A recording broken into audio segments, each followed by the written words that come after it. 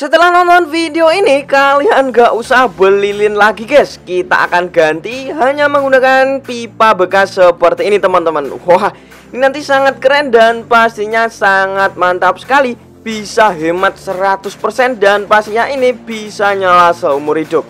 Oke langsung aja seperti apakah tutorialnya kita simak sama-sama di video yang satu ini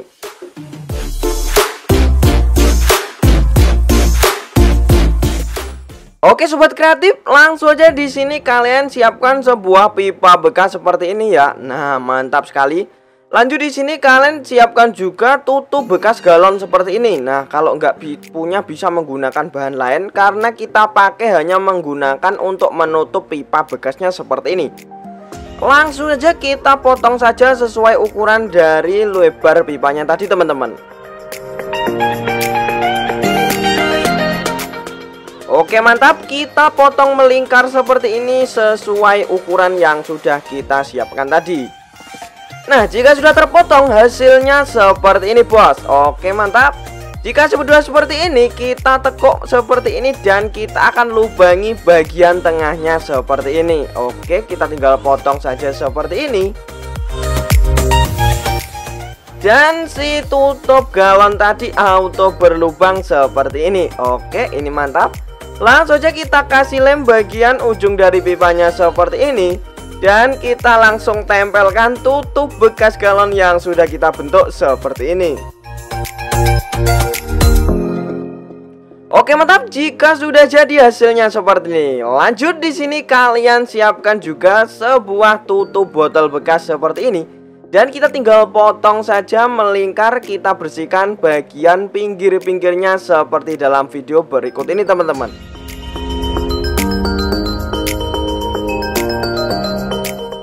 Oke mantap. Setelah seperti ini sudah bersih sekali. Langsung saja di sini kita ke tutorial selanjutnya.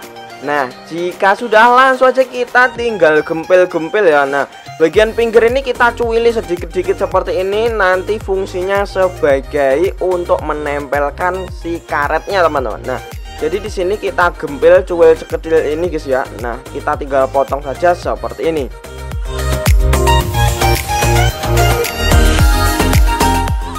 Oke mantap jika sudah tercuil-cuil seperti ini Langkah selanjutnya kalian siapkan sebuah karet gelang seperti ini ya bos ya. Nah langsung aja kita masukin ke dalam lubang yang sudah kita cepakkan tadi.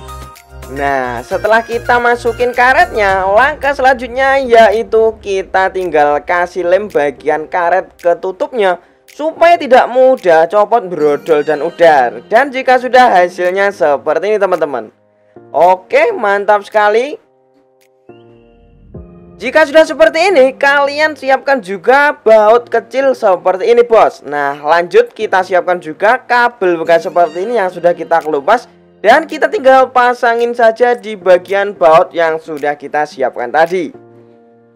Oke mantap, jika sudah seperti ini, langkah selanjutnya yaitu kita tempelkan baut di atas tutup botol yang sudah kita eksekusi tadi langsung saja kita tempelkan seperti ini. Magnet oke mantap sekali.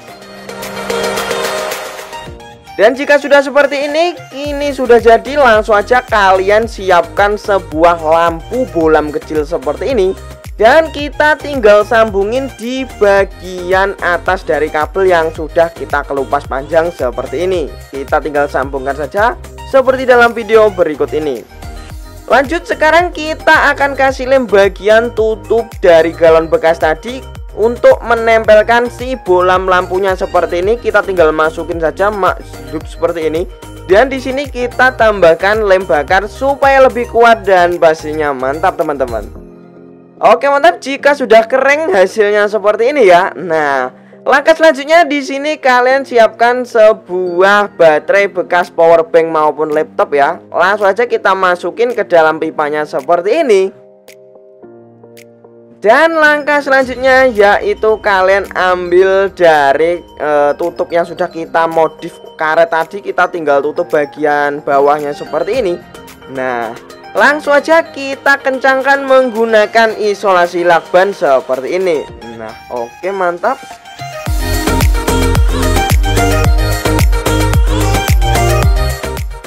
Nah pastikan harus rapi dan lebih mending ya. Jadi tidak sorok godok biar hasilnya lebih praktis ekonomis well gelis. Oke jika sudah langsung aja kita potong. Dan jika sudah hasilnya seperti ini teman-teman. Ya benar sekali. Si lampu auto menyala guys. Mantap sekali. Kalian bisa lihat sendiri. Ini sangat mantap dan pasnya oke sekali. Yap Bermodalkan pipa bekas tadi, kita bisa membuat sebuah lilin yang pastinya ini sangat keren dan pastinya mantap sekali teman-teman lihat. Wow. Oke, ini baterainya nanti bisa diisi ulang dan pastinya bisa menyala seumur hidup dan pastinya lebih aman dan ekonomis. Langsung aja, let's go.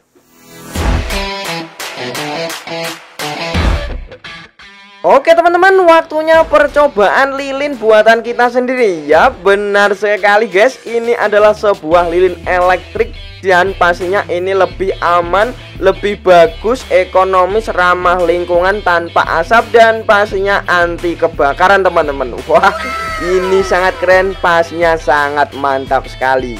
Nah dari pipa bekas tadi kita bisa membuat sebuah lilin elektrik yang sangat keren dan pastinya mantap tidak kalah dengan lilin pabrikan seperti ini.